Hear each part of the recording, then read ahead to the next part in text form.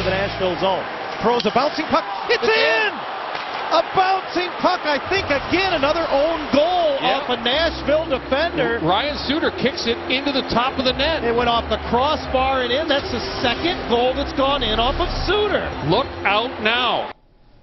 Honestly, Ryan, I'm trying to wipe the smile off my face. I feel like we should be apologizing to Ryan Suter after the abuse he's taken for that own goal. He did have two of them in the game, though, so it was a real rough night for Ryan. Let's relive, in his honor, some of the strangest goals that we've seen in recent memory through this top 10.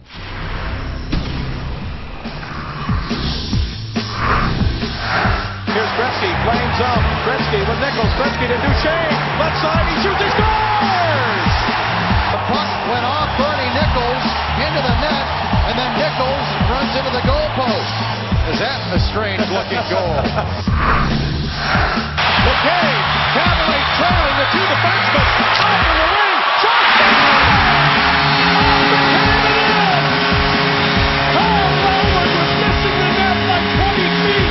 Well, I don't think in any way, shape, or form that they can accuse McCabe of doing anything to direct the puck into the net. In fact, my guess is he was trying to get out of the way of it. Letton trying to clear with five seconds remaining. Here's James with a bomb. They score! 1.5 seconds to go.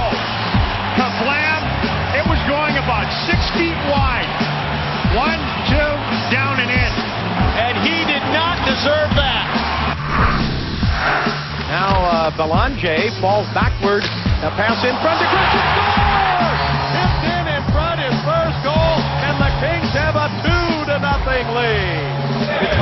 The Kings don't care how it goes in. Shoot out of LA. Well, a nice header by Griffith. He reached up to the side of his helmet.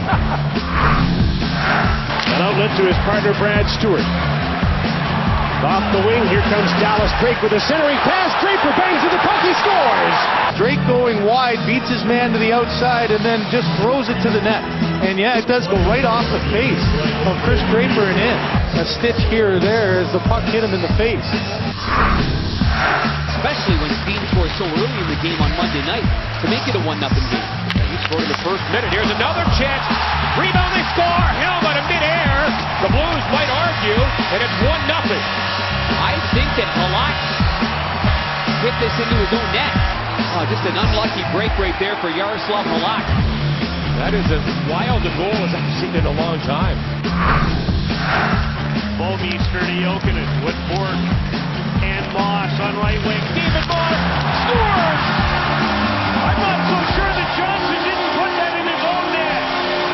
trying to clear this zone, the puck because he knows Jokinen's coming in very quickly. Heck of a shot by Johnson there. Gets left. Puts it to the side of the net. Herring turns right out in front of comes. Nobody there. It's headed to the empty net.